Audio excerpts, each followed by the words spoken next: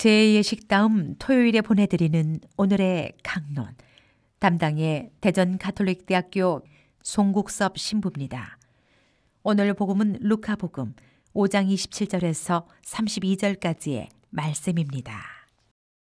그때의 예수님께서는 레위라는 세리가 세관에 앉아 있는 것을 보시고 말씀하셨다. 나를 따라라. 그러자 레위는 모든 것을 버려둔 채 일어나 그분을 따랐다. 레위가 자기 집에서 예수님께 큰 잔치를 베풀었는데 세리들과 다른 사람들이 큰 무리를 지어 함께 식탁에 앉았다. 그래서 바리사이들과 그들의 율법 학자들이 그분의 제자들에게 투덜거렸다. 당신들은 어째서 세리와 죄인들과 함께 먹고 마시는 것이요? 예수님께서 그들에게 대답하셨다. 건강한 이들에게는 의사가 필요하지 않으나 병든 이들에게는 필요하다. 나는 의인이 아니라 죄인을 불러 회개시키러 왔다. 대전 가톨릭 평화방송 애청자 여러분 안녕하십니까? 이번 한 주간 동안 강론을 맡게 된 송국섭 신부입니다.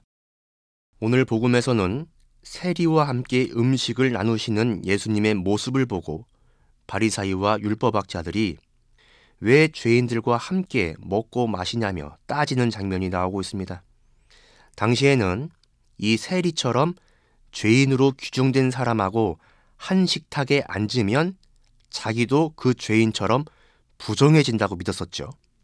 그런데 예수님께서는 그러한 공격에 건강한 이들에게는 의사가 필요하지 않으나 병든 이들에게는 필요하다. 나는 의인이 아니라 죄인을 불러 회개시키러 왔다는 말씀을 하십니다.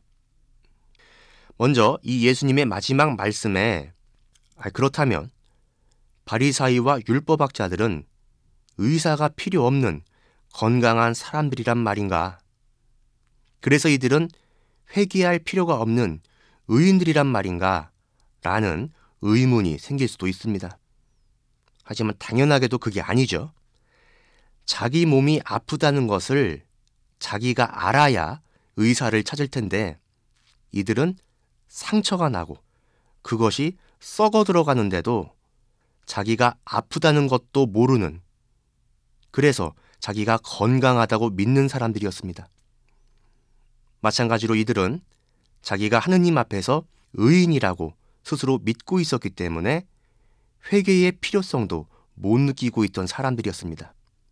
즉, 이 사순 시기 동안 늘상 강조하고 있는 회개라는 것도 결국 본인 스스로가 그동안 하느님의 길을 충실히 걷는 데에 정말로 소홀했었음을 절실하게 깨닫고 인정하는 사람한테만 가능하다는 말입니다. 다시 말해서 자기가 하느님 앞에서 부족한 사람이라는 것을 스스로 자각하는 사람만이 회개도 가능하다는 것입니다. 아주 쉬운 예를 들어보겠습니다. 이 판공 때 보면 어떤 신자분은 자기는 그래도 주일은 한 번도 거르지 않고 잘 나왔으니 이 정도면 그래도 기본은 잘 지키면서 살았다고 말씀하십니다. 하지만 또 반면에 바쁘다는 핑계로 그저 간신히 주일만 지키면서 살고 있으니 하느님 앞에서 늘 죄스러운 마음뿐이라고 말씀하시는 분도 계십니다. 그런데 다 듣고 보면 결국 두 분 다 똑같이 주일 미사는 안 빠지고 잘 나오시는 그런 분들이란 얘기죠. 하지만 이 두 분 중에서 과연 어느 분이 정말로 회개의 필요성을 느끼고 있겠습니까?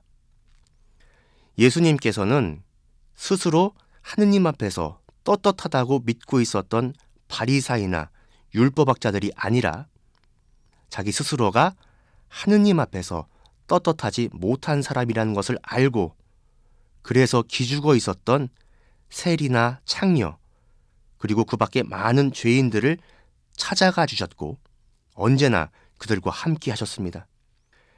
그렇기 때문에 그 예수님을 믿고 따르고 있는 우리들은 적어도 신앙 앞에서만큼은 당당해서는 안 됩니다. 늘 겸손한 마음으로 부족함을 느낄 때, 그때 우리도 예수님과 항상 함께 있을 수 있습니다. 이제 내일이면 사순시기의 첫 주일이 시작됩니다.